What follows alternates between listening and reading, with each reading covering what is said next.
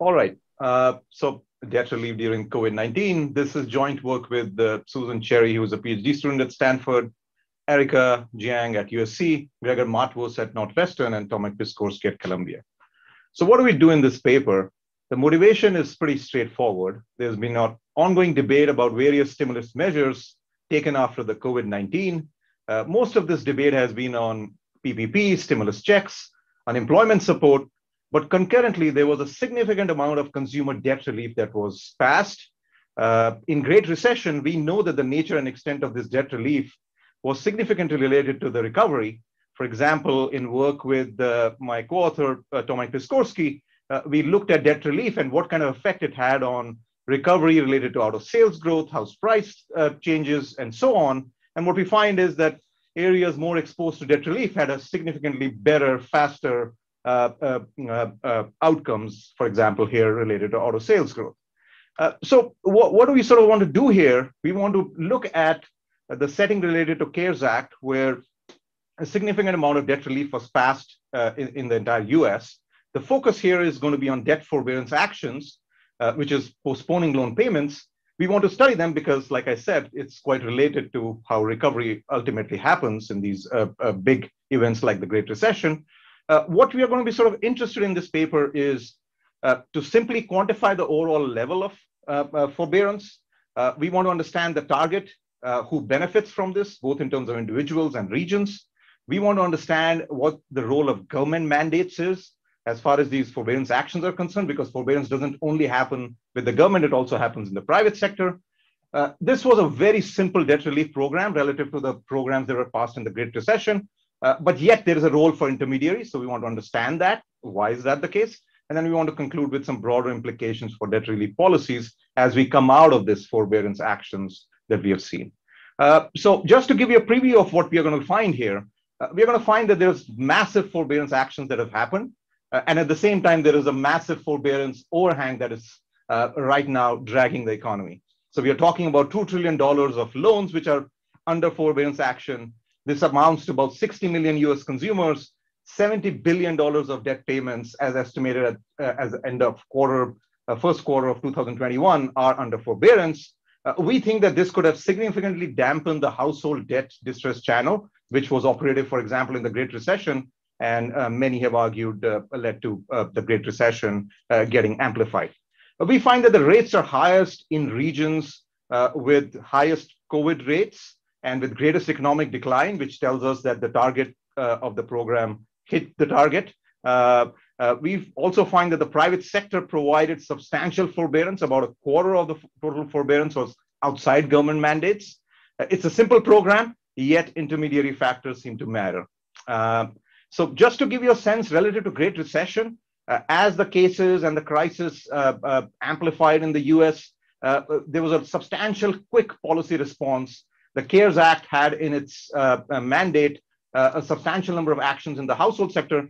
Just want to contrast this with the Great Recession, where also there was debt relief passed in the household sector, but it took uh, almost a year, year and a half before uh, these debt relief programs were ultimately passed. This was a substantially quick response, as can be seen with the cases and where CARES Act came in. So what did the CARES Act have? It had uh, these things which we'll study related to forbearance measures. So these forbearance measures affected different parts of the consumer debt market.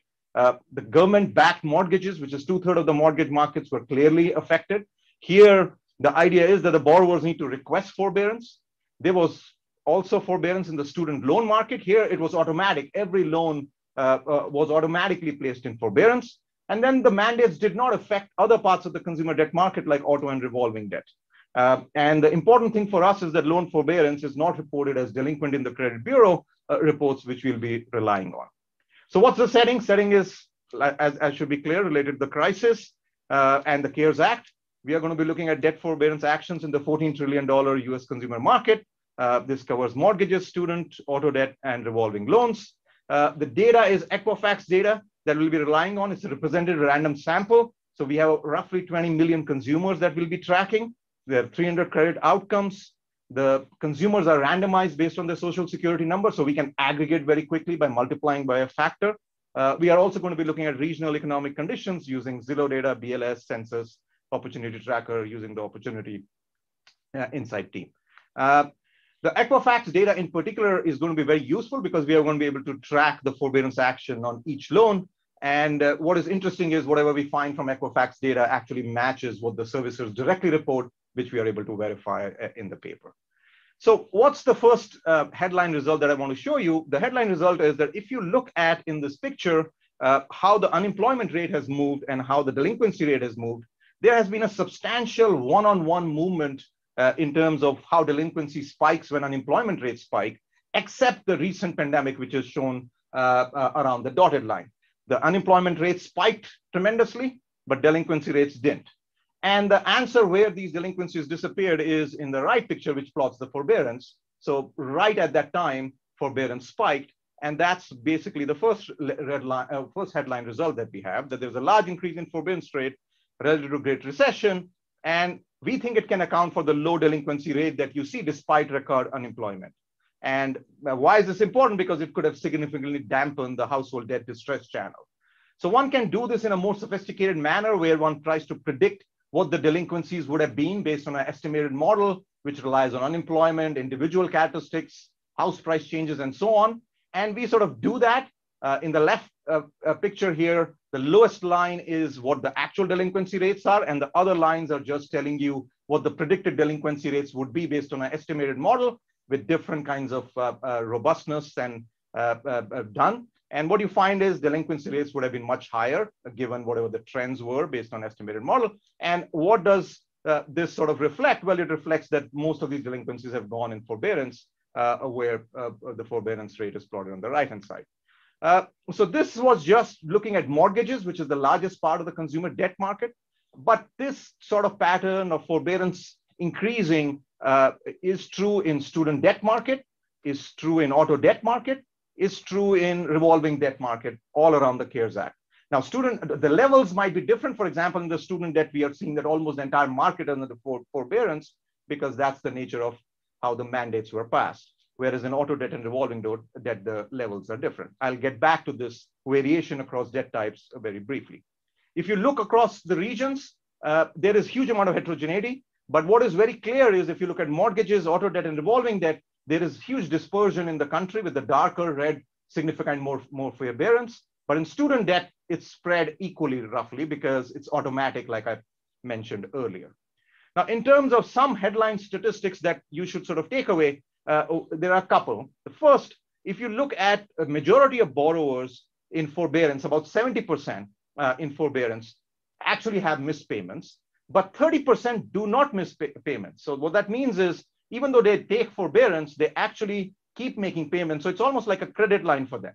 Uh, in terms of what's the largest relief debt category, not surprisingly, mortgages and auto debt, which is where most of the debt is. Uh, if you look at the aggregation, uh, what you find is that about $70 billion estimated at the end of quarter one 2021 uh, in different categories is under forbearance. This is about 60 million consumers. Uh, by any metric, this is significant amount of debt relief, uh, even relative to the other COVID-19 stabilization programs, uh, uh, if you sort of compare them. Next, what we want to sort of do is to look at both the intensive and the extensive margin. Where was the take-up and conditional on take-up, what was forbearance like? So what we do first is stratify the uh, distribution based on income, which is on the left, and on the credit score, which is on the right, and ask where is the forbearance take up more. And not surprisingly, what you find is less credit worthy and lower income folks get forbearance uh, at a higher rate. And you see similar patterns. This is for mortgages, but you see similar patterns for other debt types, except student debt, which, like I have mentioned, is automatic. So it doesn't really depend on anything, these, things. I said that this is not surprising. Uh, there is a little bit of a surprising element here in the sense that this seems pretty well targeted relative to some other programs, for instance. Uh, you can also ask that conditional forbearance, where is uh, the, the intensive margin here? And you do the same sort of exercise, stratifying on income on the left and credit score on the right. And what you find is, in contrast to what I showed you earlier, conditional on take up, higher income borrowers get much larger dollar of forbearance per individual. This is not surprising because it reflects higher loan balances. And when you sort of quantify this, what you find is about 61% of financial relief due to forbearance is going to higher income individuals. Uh, so to summarize, in terms of targeting, borrowers based on their higher financial uh, vulnerability and creditworthiness got a lot of forbearance. But in terms of dollars, borrowers with higher pre-pandemic income received a significant relief. Now, I want to contrast this with the diff different kind of programs that happen. For example, stimulus checks. Now, stimulus checks just target based on income. This is a more refined program, if you will. So if you plot it regionally on the y-axis, where is the dollar per uh, adult in terms of stimulus money, and on the x-axis, the same thing with forbearance, what you find is that forbearance is going in different regions relative to stimulus, not surprisingly, because stimulus only targets income. And I just showed you that even higher income individuals got forbearance debt relief. Now, is that the only variation? That's not uh, it. Regionally, we can sort of see uh, that forbearance tends to go in most vulnerable parts of the population with respect to the uh, pandemic. There is enough research which shows that minority and Black were affected more by the pandemic. And in fact, we find that forbearance tends to be larger uh, in regions where the share of minorities and uh, percentage Black, for instance, is larger. This is the same sort of picture that I showed you before. We can also stratify this based on infection rate, unemployment claims, and uh, percentage at risk industries, again, regionally. And you again find that the forbearance tends to be larger in regions where uh, COVID-19 has had a more of an adverse effect. Uh, at this stage, then we want to move to the second part of the paper, which is looking at forbearance and trying to understand what's the interaction between government and private mandates, really, uh, government mandates and private forbearance that has happened. Uh, what, first, what we find is that there is a substantial amount of private forbearance, about a quarter. And what we then want to do is to try and understand uh, uh using data, what is the relationship between the two? And what we are going to do is to try and exploit variation across debt types. Why? Because some debts, uh, some types of debt do get forbearance, others don't. And we are also going to exploit variation within debt type because within the mortgage sector, for example, some parts of the loans get forbearance through government mandates, others don't. And what does that tell us about this? So the first is me repeating the same picture that I showed you before, but this time highlighting that mortgages and student debt who got forbearance were covered under the government mandate, but auto and revolving debt weren't. And what this sort of tells you is that the private sector was also responding uh, around the same time in terms of offering forbearance. Can we say more about this? And we can. What we then do is try to exploit within the mortgage sector this idea that part of the loans are eligible for government mandates in terms of forbearance and part are not. So what is the idea? On the left, what I have plotted is the mortgage market and the vertical line tells you conforming, non-conforming split The left side is conforming, that's under the government mandate. Right side of the vertical line is jumbo loans, which are not under the government mandate. So before COVID, what's been plotted is forbearance rates, and they're pretty similar. After COVID, what do you see? You see a substantial increase in forbearance in the entire market, which is consistent with what I showed you before. But if you look at the eligible and ineligible regions, eligible with government mandates and ineligible, what you see is that the government part of the uh, uh, segment has sees more forbearance than the private segment. So this is something that shows up whether you do this visually or in regressions uh, that the government side, the conforming side of the market sees more forbearance. You can also do this in the more classic diff and diff setting and uh, you see similar effects. Uh, quantitatively, what you find is that there is a higher forbearance rate on loans with government mandates about 25% higher, but the private sector also is providing a substantial amount of uh, mandates. Uh, the advantage of a diff setting is you can account for changes in distribution of borrowers and regional characteristics and so on.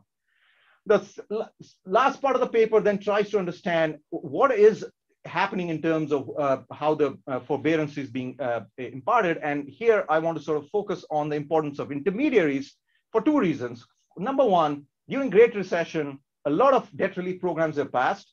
They were complex programs related to the program that was just uh, sort of passed related to uh, in, in, the CARES Act because they had verification, NPV tests, and so on. And the intermediary spec, uh, specific factors have been shown to significantly affect implementation of this relief. So the question then is, we have a very simple debt relief program. There's no verification. Borrowers just need to re request. So do these intermediary factors still matter?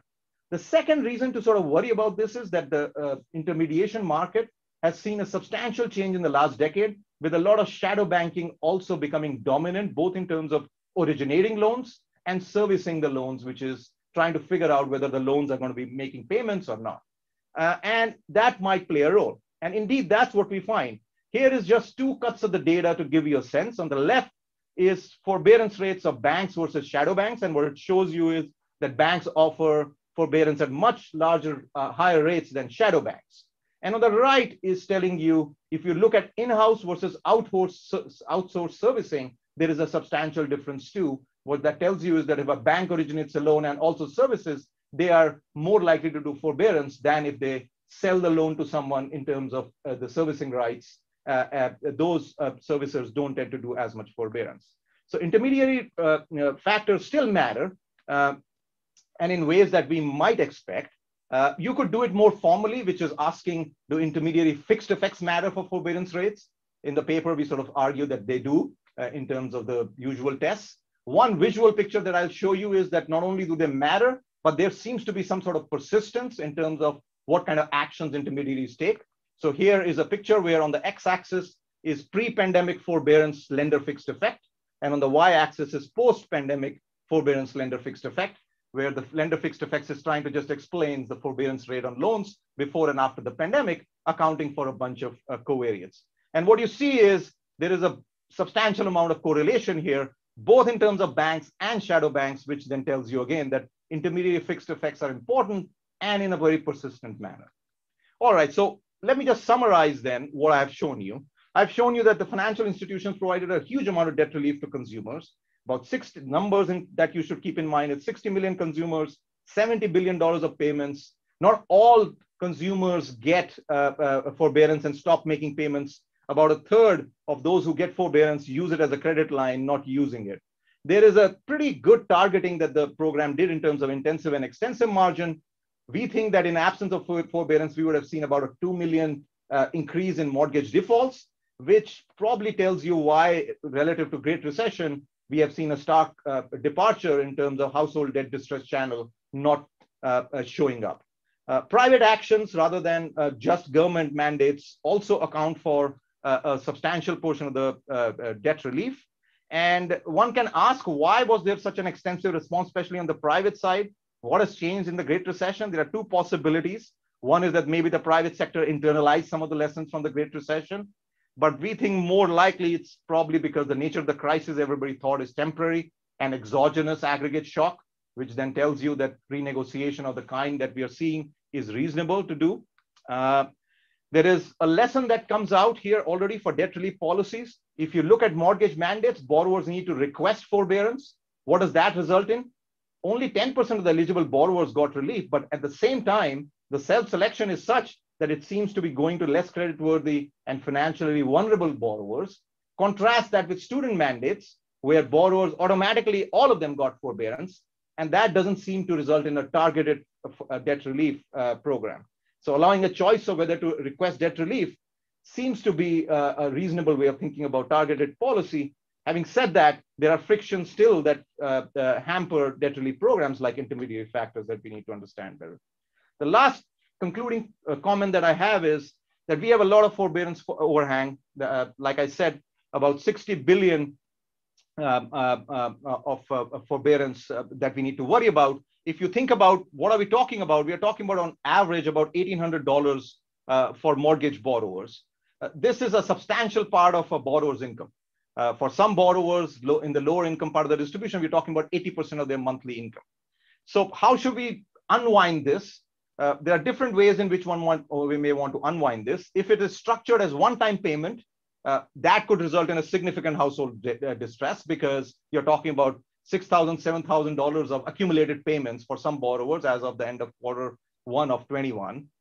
Or you may want to spread it over time. So if you amortize it, given the schedule that we see in the data, what you would find is about $50 in terms of principal balance would be needed to be adjusted to take this into account. Having said that, I mean, this, these are calculations that the government can do too, but this is something that will require a coordinated effort because this is a problem that is not going away in the short run. So thank you very much.